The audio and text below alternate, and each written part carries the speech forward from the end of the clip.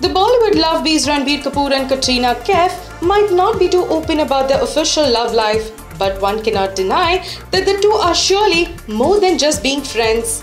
The duo has been spotted at several outings and also getting intimate together, be it with their lunch dates or their unexpected holiday ventures. However, after the much hype leaked Spain holiday pictures, Ranbir and Kat feared the paparazzi and avoided being spotted anywhere together.